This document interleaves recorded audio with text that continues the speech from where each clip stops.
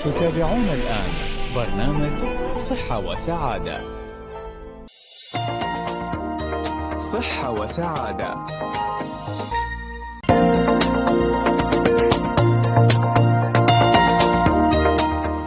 مستمعين الأعزاء صبحكم الله بالنور والسرور والعافية. ودائما نصبح عليكم بروح التفاؤل والطاقة الإيجابية. نرحب فيكم مستمعين الأعزاء في برنامجكم الإذاعي اليومي صحة وسعادة اللي تقدمه لكم هيئة الصحة في دبي بالتعاون مع مؤسسة دبي للإعلام وعبر أثير إذاعتكم المتألقة إذاعة نور دبي.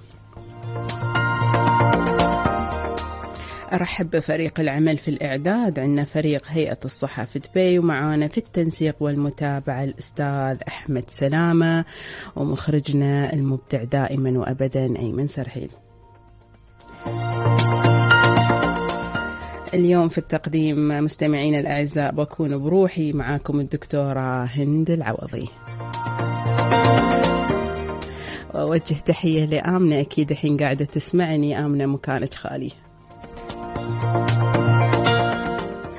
تقدرون مستمعين الأعزاء تتواصلون معنا عبر برنامجنا عن طريق الأرقام التالية 600 55 1414 أو عبر الرسائل النصية القصيرة 4006 حلقتنا اليوم متنوعة ومليئة بالأخبار المحلية وآخر مستجدات كوفيد وراح نتحدث عن صحة الجهاز الهضمي وراح نتحدث عن أمراض القلب لدى النساء. بس قبل ما نبدأ مستمعينا الأعزاء حلقتنا اليوم 8 مارس هو اليوم العالمي للمرأة. وأنا يعني بما أني يعني موجودة في على هذا المنبر أنا حابة يعني أهني جميع النساء المتواجدات في الإمارة وفي الدولة وفي العالم بهذا اليوم وأنا حابة أقول لكم أنه مو بس اليوم هو يومكم كل يوم هو يومنا. وهو شكر خاص للطاقم الطبي اللي بذل الطاقم الطبي النسائي طبعا اللي بذل المستحيل وبذل الكثير من الوقت والجهد عشان يكافح هذه الجائحة. أنا حابة أقول أني أنا جدا فخورة أني من ضمن خط دفاعنا الأول وفخورة جدا فيكم أنتم يا نساء أنك أنتم من أوائل الناس في خط دفاعنا الأول. وأكيد يعني ما كنتوا بتقدرون تسوون هذا الشيء بدون الدعم اللي قدمته لكم عائلتكم من عائلتكم من الأمهات والأبهات وأطفالكم وأزواجكم ويعني عزيزاتي إحنا يعني كل سنة وإحنا بألف خير كل سنة وإحنا أقوى وكل سنة وإحنا نطور من نفسنا ونجدد من نفسنا وعساها تكون سنة خير وبركة علينا كلنا.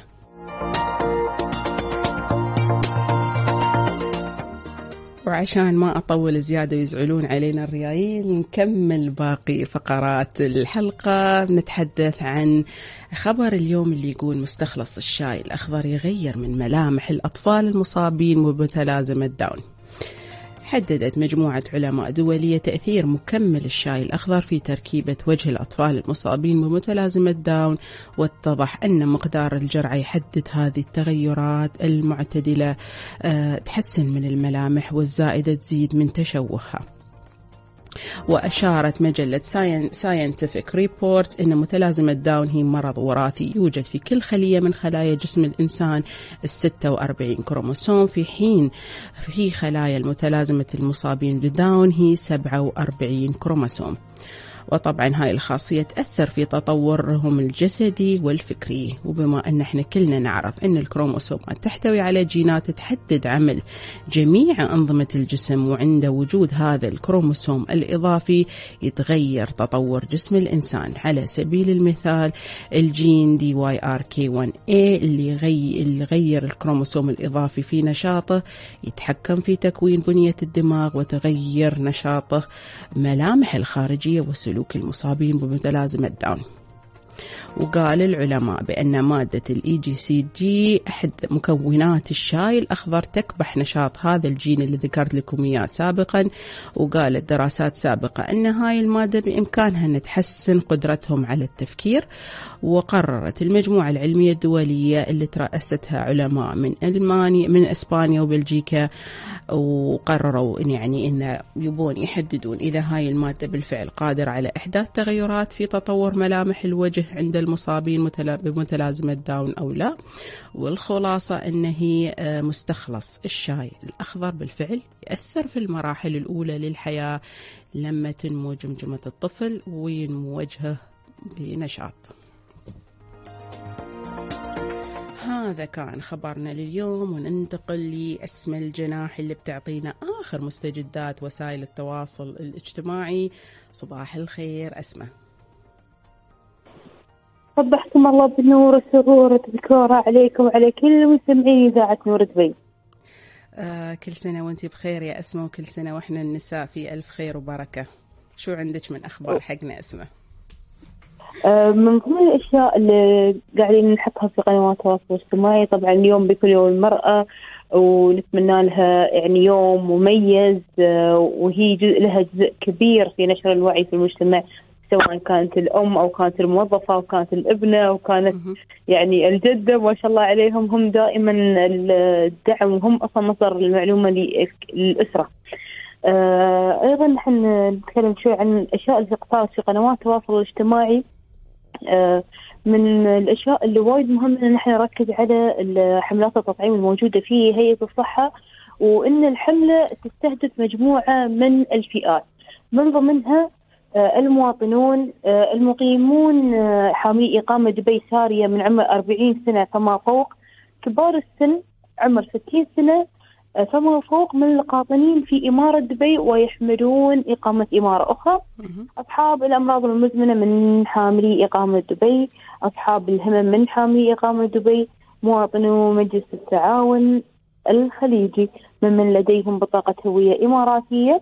هذول كلهم دكتور يقدرون يحجزون من خلال تطبيق هيئة الصحة بدبي اللي هو DHA app أو من خلال آه، الرقم الرقم الموحد اللي هو 8342 آه، بالنسبة لخط آه، الدفاع الأول والمهن الحيوية يمكن أنهم يحجزون من خلال التنسيق المباشر بين الجهات وبين الهيئة. تقريبا آه، دائما الأشخاص يسألون من الأسئلة شو أو اللي مصنفين من ضمن المهن الحيوية هي المهن اللي اللي مشابهة لقطاع التعليم والبلديه والطرق والمواصلات. الأشياء الشبيهة لهذه التخصصات تعتبر من ضمن المهن الحيوية. آه بس ناكد أيضا إن جميع مرافق هيئه الصحة هي من خلال آه، الحجز المواعيد المسبقة وبيكون مهم إن أول شيء بيسألونا عن ال MRN number وال message اللي واصلنا عشان إنه هو يقدر يحصل الخدمة. فهاي بخصوص التطعيم وأهم شيء إن الأشخاص يستمرون في التزام بالإجراءات الوقائيه والإحترازية اللي هي مثل ما نسميه المثلث غسل اليدين لبس الكمامة والتباعد الجسدي. ممكن هاي يعني نخليها نتعايش معاها وتكون جزء من حياتنا اليومية. آه، مثل ما يسمونها ال new normal وهذا يعني يعني كل ما الإنسان شاف إن هالأشياء تقيده كل ما كان إنه هو إنسان حزين، كل ما إنه قدر يتعايش مع الأوضاع اللي تصير كل ما كانت نسبة سعادته عالية، فنحن نتمنى للجميع والمرأة تحديدا اليوم بما أنه يوم المرأة العالمي الحفاظ على الصحة النفسية لأن هي جدا مهمة وهي لها ارتباط كبير بوايد مشاكل صحية. ونتمنى لكم يوم سعيد ونتمنى للنساء يوم مميز ودمتم بصحة وسعادة. ودمتي بصحة وسعادة. كانت معانا اسم الجناحي وعطتنا آخر مستجدات وسائل التواصل الاجتماعي. ذكرت فيه بالتفصيل عن الفئات اللي إحنا مستهدفينها في المرحلة الثانية من آه، مراحل آه، لقاح كوفيد. مستمعين الأعزاء آه، بناخذ فاصل قصير وبنرجع لكم مع فقرة التغذية وصحة الجهاز الهضمي والمناعة. فاصل قصير وبنرجع لكم إن شاء الله صحة وسعادة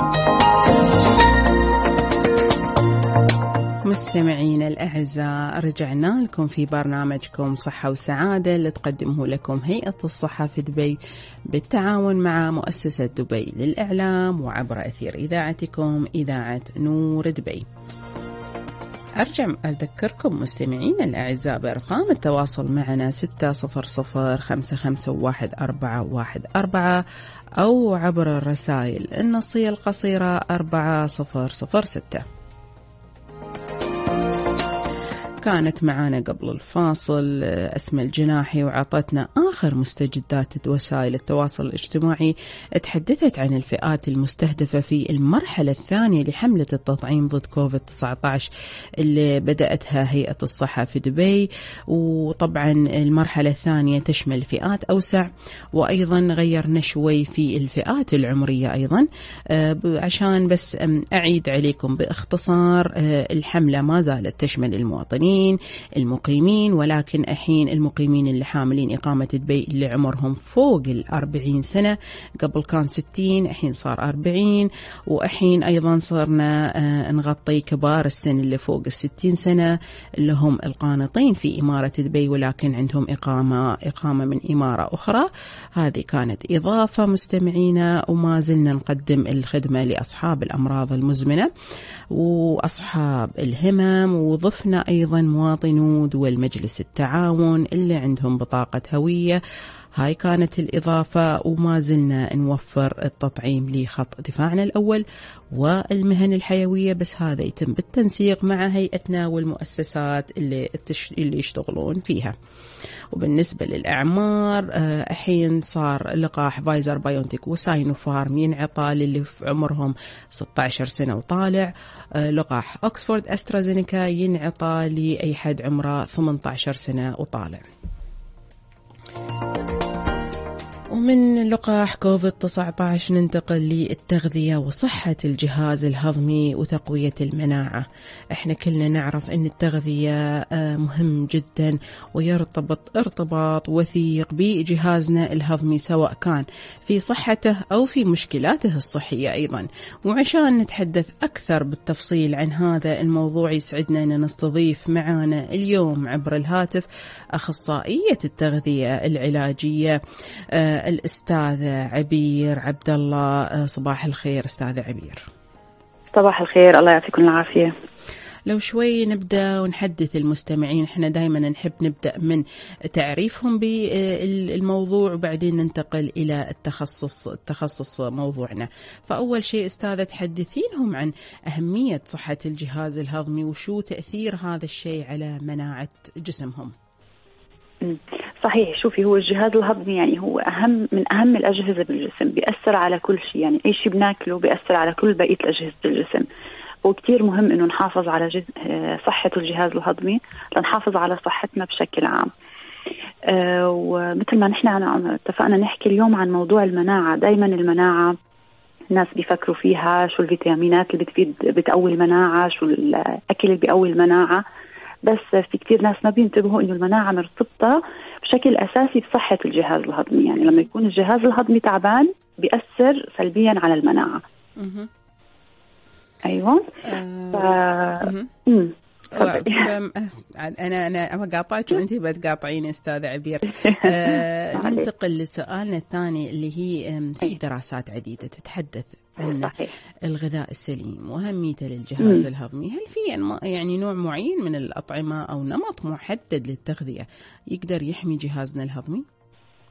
صحيح هو دائما طبيعي إنه الأكل الصحي الغذاء الصحي اللي دائما بنحكي عنه أو الطبق الصحي الأكل المتنوع اللي بيكون بعيد عن الأكلات المعلبة أو المعالجة. يعني الأكل مثل ما هو الخضار طبيعية اللحوم طبيعية مش أكلات معالجة ومنضاف لها كثير مواد حافظة. آه والجزئية اللي نحن كثير حنركز عليها اليوم هي البكتيريا اللي جوا الجهاز الهضمي لأنه هي هاي أساسية بصحة الجهاز الهضمي وبتأثر بشكل أساسي على المناعة. هلا دائما الناس لما تسمع بكتيريا بيفكروا إنه شيء ضار. هلا نحن عندنا بكتيريا كمية كثير كبيرة بالجهاز الهضمي في منها ضار وفي منها آه مفيد. مش بس مفيد ضروري للجهاز الهضمي. يعني إذا ما كان موجود أو صار في اختلال بكمية هاي البكتيريا أو نوعيتها بيتأثر الجهاز الهضمي وبتصير في عندنا مشاكل بالجهاز الهضمي وبنفس الوقت بيأثر على المناعة. آه، هلا هاي البكتيريا موجودة طبيعيا يعني ربنا خالقها بالجهاز الهضمي بس طبيعة الأكل اللي بناكله بتأثر عليها. بشكل كبير بينقص العدد أو آه، بيزيد أو حتى نوعيتها الموجودة بت- بتصير أقل جودة فبيأثر على صحة الإنسان أحيانا كمان الأدوية اللي بناخذها بتأثر على البكتيريا خاصة ال- آه، الـ antibiotic المضادات الحيوية مهم. لأنه المضاد الحيوي بيقتل البكتيريا بغض النظر منيحة أو ضارة فاللي بياخذ. كثير مضادات حيوية بتنقص كثير عنده البكتيريا النافعة على الجسم مهم. فهذه اللي. تقصدين فيها أستاذ ال- ال- البروبايوتيك هل هذه أيوه أيوه أيوه هي هذه هي الـ microbiota بناخذ. لها بروبايوتيك عشان تزيد أي دائما ننصح اللي ياخذ course من آه، الـ antibiotic إنه إيه، أيوه الأطباء طبعا دائما ينصحون الطبيب إنه- انه يأخذ microbiota لأنه بتاخذ إيه. الشكل الطبيعي ليرجع بعد الدواء كذا شهر لترجع لطبيعتها إذا ما أخذ شيء. صحيح. هلأ هي الأكلات الموجود فيها ال- البروبايوتيك. طبيعيا الأكل آه، المخمر أو يعني كيف نحن عندنا أكثر شيء اللي فيه آه، الروب okay. الروب أو اللبن مهم. كثير بروبايوتيك كثير بيساعد على إنه يعدل كميات البكتيريا إذا كانت نازلة مثلا بال... بس طبعا مش إنه ناكل معلقة باليوم كميات آه، يوميا مثلا كوب من اللبن. كوب يعني. آه. اللي انت إيه، طبعاً. تنصحينه يعني كوب أو أكثر إيه. أستاذة؟ آه، إذا أكثر ما في مشكلة. آه okay. الـ minimum المقدار الأقل آه. هو كوب. okay بس مش المحلل اللي هذا موجود بالسوق اللي فيه سكر إيه. كثير أكثر وسكر اللي ما اللي ما في لا، يعني اللي ما الطبيعي. فيه ما في خرابيط أيوة وايد يعني السادة.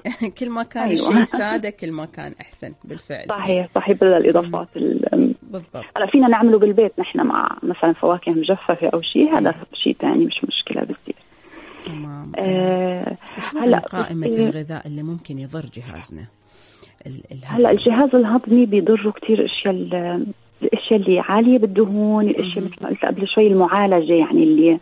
process أو إنه عرفتي بتكون مثلا كيف النقانق هاي الأشياء اللي تعالجت أكثر من مرة بعد ما كانت لحمة طبيعي تعالجت فصار فيها إضافات كثير ضارة الـ processed يسمونه الـ processed كل- meat اي أيوه.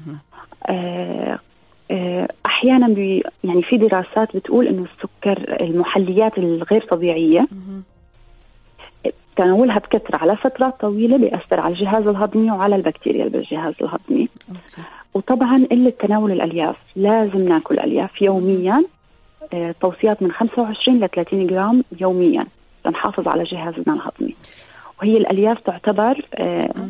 بعض منها prebiotic بيسموها مهم. اللي هي غذاء البروبايوتيك يعني هو البروبايوتيك والبكتيريا بيتغذى على الـ prebiotic الـ prebiotic بيجي من الألياف. استاذة يوم تقولين 25 30 جرام أنا شوي يعني أحسه صعب إن الواحد إيه. يقدر صعب صحيح شو شو إيه. تقصدين يعني ب شو؟ 30 جرام يعني؟ يعني مثلا إذا بدنا نوصل لهاي الكمية فينا ناكل ثلاث حصص من الخضار إيه. باليوم شو. حصص من الخضار مثلا كوب مقطع مثلا من الخس كوب. صغير مقطع هذا حصة واحدة من الخضار مم. يعني إذا أكلنا سلطة فيها حبة طماطم أيوة. مع حبة خيار مع شوية خس مثلا بمقدار كوب كوب ونص جميل. مع حبتين فواكه خلال. اليوم. مع انه يكون الخبز اللي بنتناوله مثلا من الحبوب كامل الكاملة الحبوب. أوكي. يعني مهم. أيوه فتقريبا بهذه الطريقة بنوصل لل... جميل جدا لل... للتوصيات المفروض نوصلها بس هي دائما يكون يعني نحاول دائما بكل الوجبات يكون في خضار إذا أخذنا آه، خبز يكون خبز كامل الحبوب كاملة. آه، حبتين لثلاث حبات فواكه يوميا ضروري جميل إحنا بهالطريقه هي- بنوصل إحنا في مرات. ناس ما بيقدروا بناخذوه من ال... في مكملات آه،. ألياف طبيعية يعني آه أوكي بس هذه يمكن لازم يستشيرون فيها أخصائي أو يعني أنا أيوة، دائما ما صحيح. أنصح الشخص يعني صحيح. على طول يروح الص- الصيدليه وياخذ دائما الأشياء في هذه بدهم يجوا على العيادات آه، اخصائيين التغذيه. بيساعدوهم بهذا الموضوع كيف ياخذها لأنه كمان الألياف ما فينا نبلش ناخذها فجأة بكميات كثير كبيرة نكون ما بناخذ ألياف وفجأة ناخذ ألياف كثير بصير في تلبك معوي بصير في شيء نفخة آه، وجع. آه، لازم نبلشها بطريقة تدريجية يعني ندخله بطريقة تدريجية للجسم هل في أشياء ثانية ممكن تزيد من قوة جهازنا المناعي؟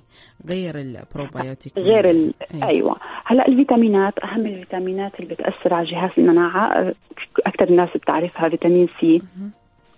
أي فيتامين سي العالم كله عايشين عليه الحين هالفترة يعني صحيح. وموجود بكثير موجود بال كل الناس بي يعني بي- بيعرفوا إنه موجود بالبرتقال هو موجود كمان حتى بال ال- الفلفل الحلو الفلفله الحلوة. كثير موجود بكمية كثير كبيرة في ناس ما بتنتبه لها آه، حتى في الكيوي. حتى في الكيوي أستاذ حتى أنا في الكيوي كثير عالي المعلومة صحيح كانت جديدة علي إن يعني الكيوي مم. عنده كمية الناس بيتخيلوا إنه هو البرتقال بس. في اشياء فيها أعلى من البرتقال بالضبط الكيوي ال- يعني كمية الفيتامين اللي فيه أعلى من البرتقال صحيح. صحيح بحبة كيوي في أكثر من حبة برتقال بالضبط آه، باقي الفيتامينات بتأثر على مناعة مثل فيتامين A. فيتامين A موجود بالأشياء الملونة مثلا برتقالي يكون لونها خاصة أو. أصفر أو أحمر مثل الجزر. مثل نفس الشيء الفليفلة الحلوة هاي الملونة. لونها أحمر وفيه برتقالي منها آه، في عندنا الفيتامين آه، آه، فيتامين د دال معروف موجود بالشمس أكثر شيء. مش موجود كثير بالمصادر الأكل ما بنقدر نوصل للكمية اللي نحتاجها من الأكل. صحيح. ضروري التعرض للشمس يوميا تقريبا من من 10 دقائق إلى نص ساعة على حسب لون البشرة. مهم. كل ما كانت البشرة اغمق لازم نقعد بالشمس وقت أطول. أوكي. آه، وأستاذة كمان عشان عشان. الوقت شو هي من النصائح الأخيرة اللي أنت حابة توجهينها لأعزائنا المستمعين دائما نحن بنحكي عن الاعتدال. نبتعد عن المبالغة بتناول الأشياء مهم. ونتبع دائما الصحن ال- الصحي اللي هو يكون نص الصحن خضار وفواكه والنص بروتين ونشويات. آه، بكل الوجبات دائما هذا بحرص إنه يكون عم يتناول الشخص فيتامينات معادن أكل منوع فيتامينات منوعة. إن شاء الله ما بصير عنده نقص بأي شيء. تمام. آه يعني أستاذة شكرا على وقتك الثمين ومع موضوعك اللي يعني الشيق جدا أستاذة عبير عبد الله. العفو شكرا لكم. آه، شكرا أستاذة ويعطيك ألف عافية. الله يعافيك. كانت معنا الأستاذة عبير عبد الله أخصائي أول في التغذية السريرية وحدثتنا عن التغذية وصحة جهازنا الهضمي وعلاقتها بالمناعة. بناخذ فاصل قصير. مستمعين الأعزاء وبنرجع لكم مع أمراض القلب وبالأخص عند المرأة. صحة وسعادة.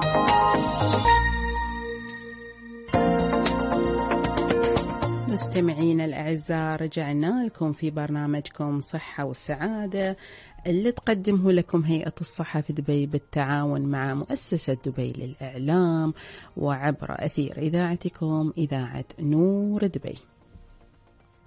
أرجع أذكركم بأرقام التواصل معنا 60055 1414 أو عبر الرسائل النصية القصيرة 4006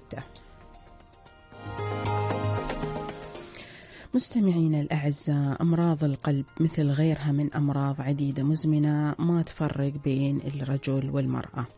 لكن الدكتورة جويرية يوسف آل علي استشاري أمراض القلب في مستشفى راشد في هيئة الصحة في دبي بتحدثنا اليوم عن مشكلات أمراض القلب لدى النساء بوجه على وجه التحديد.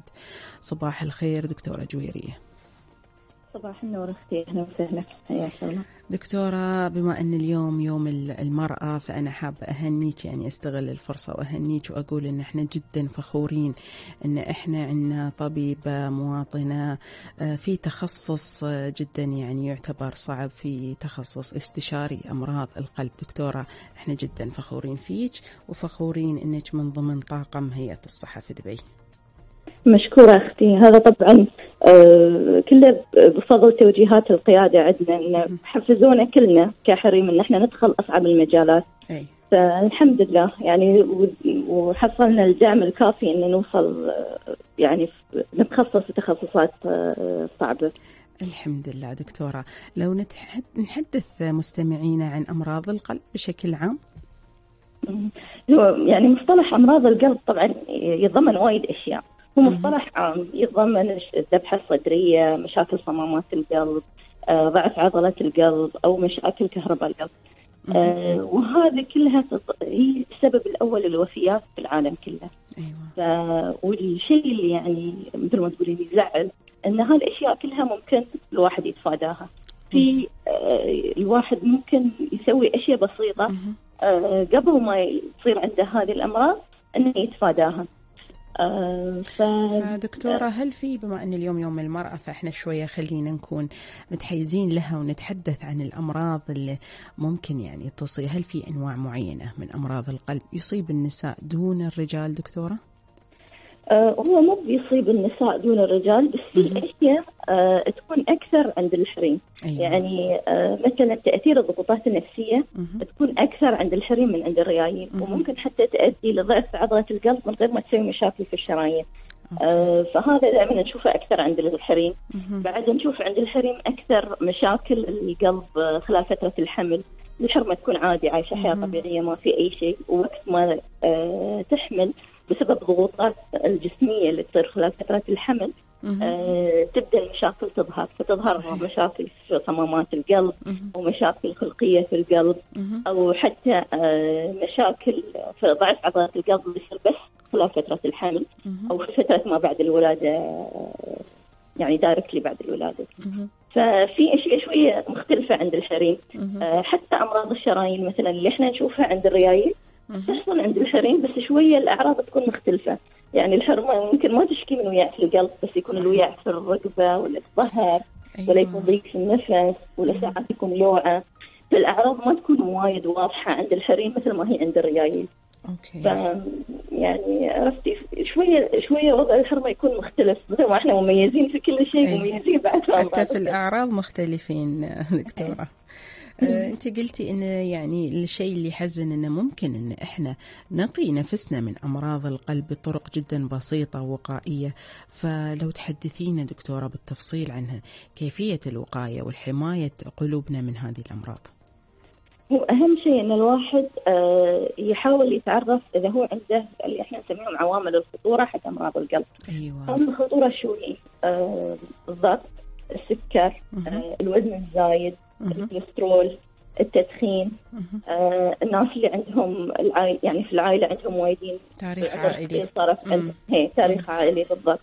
فأي حد عنده يعني آه، وهالأشياء ممكن الواحد يتعرف عليها بسهولة زيارة واحدة للطبيب الأسرة. آه، يشيك الضغط يشيك السكر يشوف الوزن مع آه، الوزن يتناسب مع الطول ويشيك الكوليسترول وأول ما نشوف نحصل هالأشياء. نعالجها عشان تمنع تكو... إن أمراض القلب تصير عندنا عقب. جميل جدا دكتورة معناته أنماط الحياة هل لها علاقة بأمراض القلب وخاصة عند النساء عنا؟ هي أكيد آه، قلة الحركة والأكل الغير صحي آه، هذه من عوامل الخطورة المعروفة حق أمراض القلب. التدخين بعد واحد من أسوأ الأشياء اللي الواحد ممكن يسويه لنفسه انه لأنه ممكن يسوي مشاكل كبيرة في القلب على عمر صغير. آه، وإذا الواحد كان نمط حياته صحي. فأمراض القلب تقل عنده ومو بس آم، إذا بدأت تصير عنده مشاكل في القلب يكتشفها أسرع من واحد آه، نمط حياته غير صحي لأن مثلا إذا الواحد آه، يسوي رياضة باستمرار. آه، يوميا راح يبدأ يحس على مجهود يعني اللي يركض له ثلاثة كيلو في اليوم. على نهاية الثلاثة كيلو بيبدأ يحس بشيء فبيبي يزحف غير عن الشخص اللي ما يسوي رياضة فهو ما يحس بالمشكلة لما تصير خلاص المشكلة شديدة ويضطر يوميا يبحث تكون لا سمح الله على جلطه. فنمط الحياة وايد له علاقة بأمراض القلب ودائما إحنا نقضي وقت كبير مع المرضى نشرح هالأشياء ونرد نذكرهم بهالأشياء لأنه شيء صعب إن الواحد يلتزم فيه.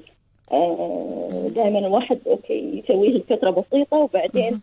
آه، يرد على الأول يرد على العزايم ويرد على. آه، شو اسمه الأكل المو صحي فدائما الواحد يحتاج تفكير بهالأشياء دائما في كل حديث مع كل طبيب دكتورة ألاحظ أن دائما هم يرجعون لنقطة أنماط الحياة الصحية وأن لها علاقة جدا كبيرة في وقايتنا من العديد من الأمراض. والحين دكتورة أنت تأكدين هاي المعلومة أن بالفعل آه، في علاقة جدا وطيدة ما بين حمايتنا من أمراض القلب واتباعنا لأنماط حياة صحية. دكتورة يعني أنا دائما أنصح الجميع أن لما أنتم بتغيرون نمط حياتكم تاخذون خطوات صغيرة بسيطة تقدرون إنكم تلتزمون فيها الفكرة إنك تلتزم بشيء بسيط على فترة طويلة أفضل من إنك أنت تاخذ ديسيجن يعني قرار جدا كبير وما تلتزم فيه إلا يوم أو يومين أو يمكن أسبوع دكتورة أنت شو رأيك؟ صح كلامك أيه. آه ويعني هذا حتى مثبتينه في الدراسات ان آه تغيير آه بسيط ومستمر. أحسن من تغيير آه دراستك أو يعني كبير بس لفترة بسيطة وبعدين ترد آه نفس أول. فيعني أحيانا بس الواحد يحتاج شوية ياخذ خطوات بسيطة وهاي يكون لها تأثير أكبر على المدى البعيد. زي دكتورة من ناحية أنت جبتي طاري الرياضة يعني شو تنصحين المستمعين؟ إيش كثر يمارسون الرياضة أنت كطبيب طبيبة قلب يعني تنصحينهم بنوع معين بمدة معينة دكتورة؟ هو آه، طبعا هو تعتمد على حسب الشخص هو أصلا إيش كثر يسوي. اللي مو متعود إنه يسوي أي شيء لازم يبدأ على الأقل يعني خمس دقائق في اليوم يوميا. أهم شيء إنه يكون يوميا أو على الأقل ثلاث مرات في الأسبوع. أوكي. آه، اللي طبعا اللي, توصى فيه المنظمات العالمية لأمراض القلب انك إنه يكون عندك أكل يعني أقل شيء 30 دقيقة آه،. مشي آه، يوم يوم يعني يوميا. ثلاث يوميا آه، خلال أيام الأسبوع. يعني نقول خمس خمس أيام في الأسبوع. أيوة. بس آه، هي بس طبعا إحنا من البداية ما نقول شيء لأن آه، 30 دقيقة يمكن الشخص ما يقدر. أبدأ شوي شوي أبدأ خمس دقائق. شوي شوي يزيدهم. آه، المهم إنه يكون شيء مستمر دائما. اربطه مثلا بوقت الصلاة. إذا الواحد يمشي حق صلاة الفجر والجو حلو بعد صلاة الفجر خمس دقائق اليوم اللي بعده زيدهم شوي عشر دقائق آه، شوي شوي شوي يزيدهم. أو مثلا آه، قبل المغرب. بعد الجو حلو قبل المغرب الواحد يقدر آه، يسوي رياضة في هالوقت. أهم شيء إنه يربطه بشيء آه، هو يسويه يوميا آه، عشان ما ينسى.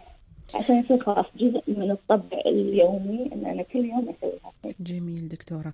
وشو عن الأكل الصحي إحنا بنستغل وجودك معانا اليوم تعطينا يعني الفقرة السابقة كانت عن الجهاز الهضمي والمناعة فالحين نبي نتكلم عن ال- القلب وصحة القلب. شو الأغذية اللي آه، طبيب القلب ينصح الأشخاص أن يأخذونها عشان تزيد من صحتهم ومناعتهم دكتورة؟ أهم شيء طبعا آه، إن نبتعد عن الأكلات اللي ال processed يعني الأكلات اللي فيها دهون مهم. الأكل المقلي آه، هالأشياء نبتعد عنها نكثر من الخضروات والفواكه. نكثر من السمك لأن السمك فيه أوميجا 3 فهذا وايد زين حق القلب. دائما مرضى القلب أنا أقول لهم أقل شيء ثلاث مرات في الأسبوع يأكلوا سمك okay. و- وطبعا يكون مشوي ما يكون مقلي. مهم. ونقلل نسبة الكربوهيدرات بس ما ما نشيلها كليا يعني. جميل جدا آه، فهذا هذه يعني مواصفات الأكل الصحي. آه، طبعا زيت الزيتون وايد زين القلب في دراسات آه، أثبتت هالشيء. آه، فتحط لك شوية زيت زيتون وانت في الأكل أو شوية على السلطة. آه، وبس والواحد ينتبه هو شو قاعد ياكل. لأن إحنا أحيانا تلاقي الناس ياكلون كل شيء صح بس ما ينتبهون على الكمية. فتلاقين العيش وايد أو الخبز وايد. والوزن ما قاعد ينزل عشان هالاسباب فننتبه على الكميات نحاول نقلل الكميات خاصة الكربوهيدرات. نزيد من الخضرة والفواكه ونزيد من السمك دكتورة لو تحدثينا عن الخدمات الوقائية والعلاجية اللي تقدمها هيئة الصحة في دبي في هذا الجانب لو تحدثين مستمعينا عن الخدمات اللي تقدمونها آه، طبعا آه، غالبا اكو اول اول مكان نشوف فيه ال- المرضى في عيادة عيادة القلب. آه، فيها تشخص الحالات ونشوف عوامل إذا كانت حتى الحالة مش حالة قلب نشوف اذا عندهم عوامل الخطورة ونعالجها ونعطي توصيات حق الطبيب الاسره انه كيف يعالجها. بعدين عندنا قسم فحوصات القلب فالحالات اللي تحتاج آه، تخطيط قلب أو تصوير قلب بالموجات الفوق صوتيه أو فحص الجلد نحولها على هذا القسم ونسوي فيها هالفحوصات. وعندنا تعاون مع قسم الأشعة آه أن نسوي فيها الأشعة المقطعية للقلب أو أشعة الرنين المغناطيسيه للقلب على حسب الحالات اللي تحتاج هالشيء. آه عندنا بعد حملات توعية نسويها مع في المجتمع. آه خاصة في اليوم العالمي للقلب. علشان نوعيهم بعوامل الخطورة لأمراض القلب وأعراض أمراض القلب وعندنا بعد مجموعة عيادات تخصصية حق حالات معينة في القلب.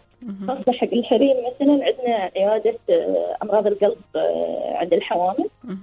هذه تكون في مستشفى لطيفة بس الدكتور من عندنا يروح هناك ويشوف يتابع المرضى مرضى القلب اللي الحين حوامل على أساس إذا في أي توصيات تغيير في الأدوية أو في حاجة لاي فحوصات ثانية يرتبها لهالمرضى. أه وبعد عندنا قسم القسطره اذا الوضع استدعى سواء لتشخيص حالات أمراض الشرايين أو علاجها نحول المريض لقسم القسطره لهالفحوصات.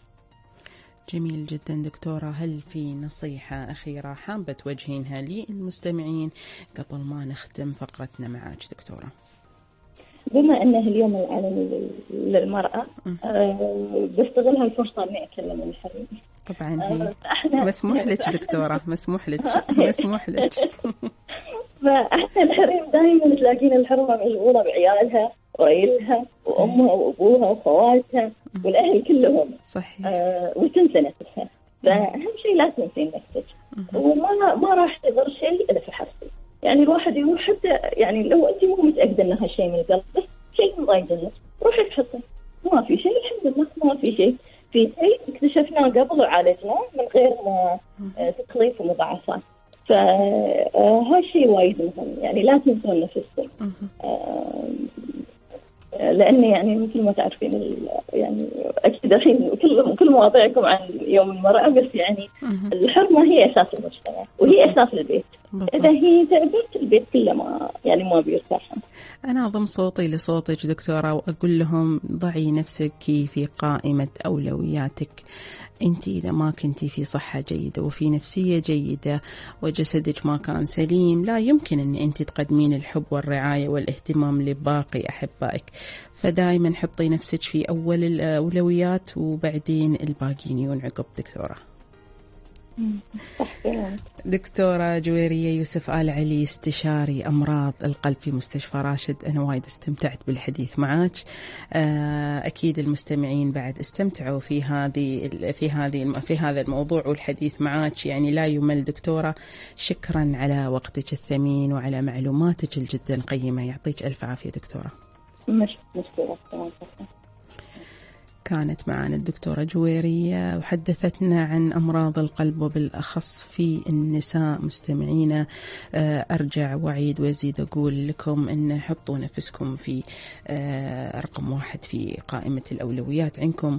اهتموا في نفسكم اهتموا في صحتكم اهتموا بصحتكم الجسدية النفسية. إذا حسيتوا أنكم تحتاجون مساعدة إذا حسيتوا أنكم مو على بعضكم دائما الجؤوا واطلبوا المساعدة. لا تأجلون اهتمامكم بأنفسكم لأن عشان أنتوا تقدمون الرعاية والاهتمام للبقية لازم أنتوا تكونون في كامل صحتكم وعافيتكم.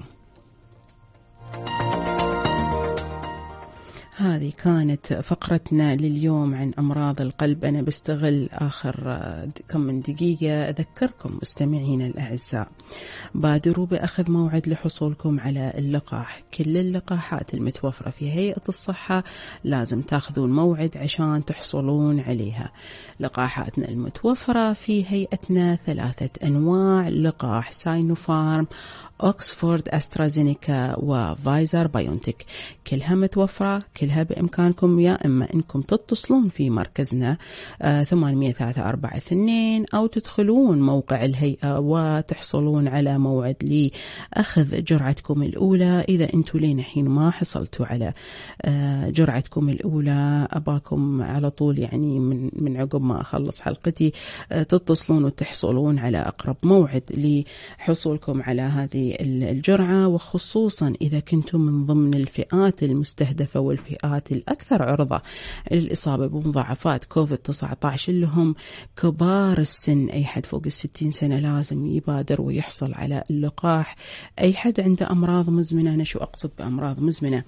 اللي عنده الضغط السكر أمراض القلب والشرايين أمراض الكبد الكلى أمراض عديدة. المرض المزمن هو المرض اللي يظل معاك فترة طويلة وما له علاج أنت كل اللي تسوي أنك تسيطر على هذا المرض.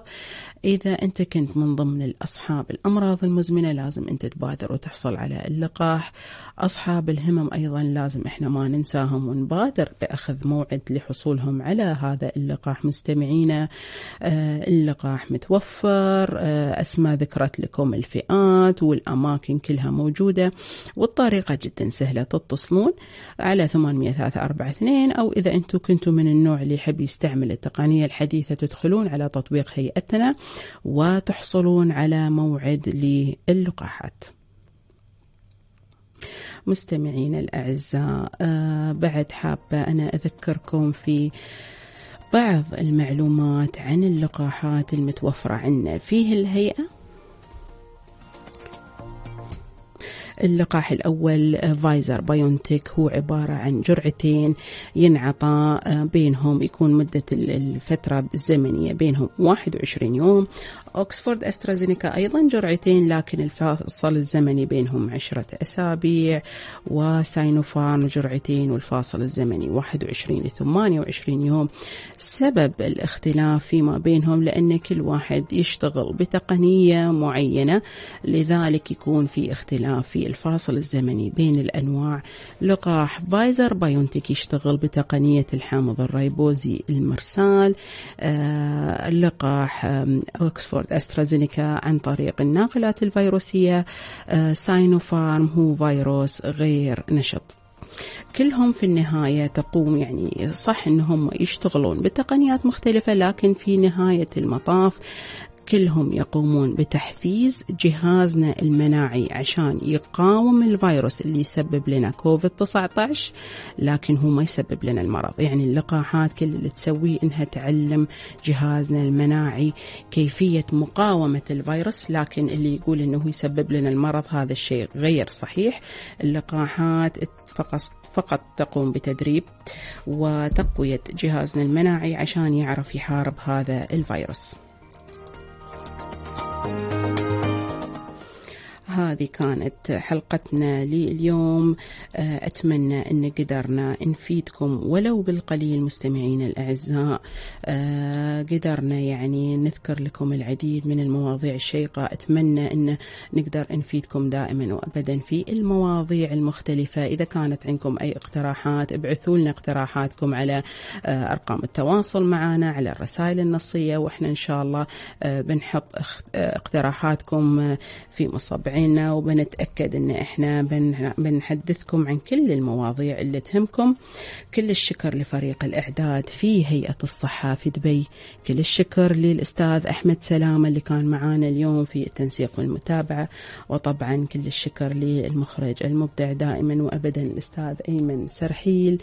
كانت معكم مقدمتكم الدكتورة هند العوضي ودمتم بصحة وسعادة مستمعينا. صحة وسعادة بالتعاون مع هيئة الصحة بدبي.